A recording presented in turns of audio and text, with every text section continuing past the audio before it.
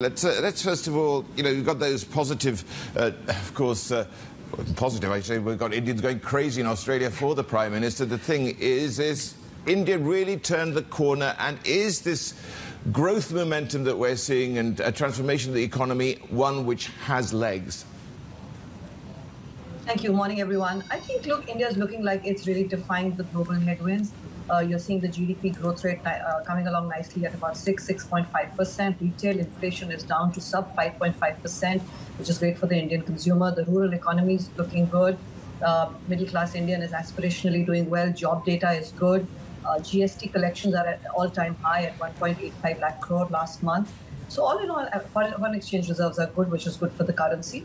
So all in all, it looks like India is doing well. All of the sectors, manufacturing, services, and rural India seems to be uh, showing uh, signs of good and robust growth.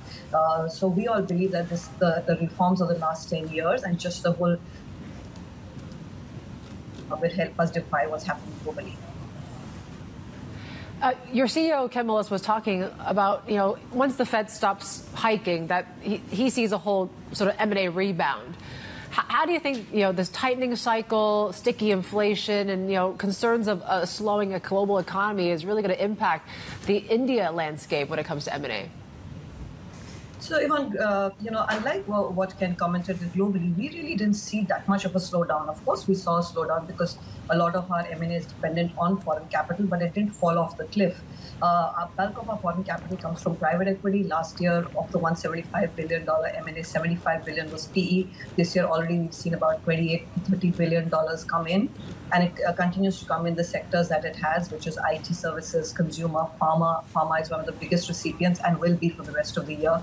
Healthcare services. Where we saw a fall off the cliff is in VC capital, in going into tech, much like what was happening in the rest of the world. Uh, and recently, we've seen down rounds happen. We've seen the, uh, uh, companies readjust their valuations. Everyone's run out of the venture capital debt that they were raising. So I believe that capital will now come in. It is there for India, but I think it was waiting for the valuations to readjust. So I think that's where we'll see more M&A. Uh, but as far as foreign capital is concerned, in the other sectors, we didn't see that much of a slowdown. Domestic M&A, on the other hand, which had gone very quiet in the last five ten to 10 years as Indian banks and corporates were deleveraging, has also seen a comeback. You saw the largest deal in Adani last year, but there's a lot more uh, that's happening, and domestic capital is now doing uh, brownfield deals. Uh, you know, when Menaka and I started our career, everyone wanted to do just greenfield if you were domestic in India because it was so much cheaper. But today, I think people realize that right. they, you know, value to time and are looking to do a brownfield.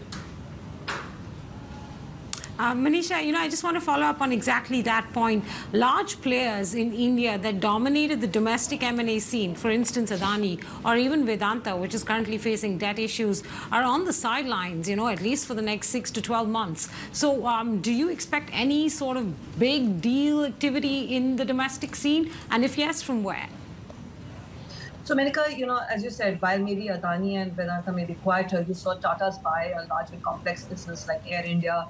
You saw Birla's recently buy a, apparel business in their uh, retail business. So, I think you have other business houses which are doing. Bharti continues to be acquisitive. So, there are large business houses, and what's what's heartening to see is Menaka is it's not just the traditional sectors, but pharma, which the companies like Sun, which we went uh, advised on a billion dollar acquisition in the US earlier in the year.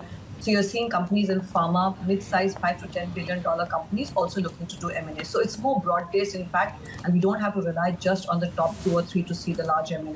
And also, don't forget, Menaka, today private equity and sovereign wealth funds are tying up a lot with Indian business houses to go out and bid for assets. So that's that's a new development where private equity is willing to come in minority to the Indian strategics.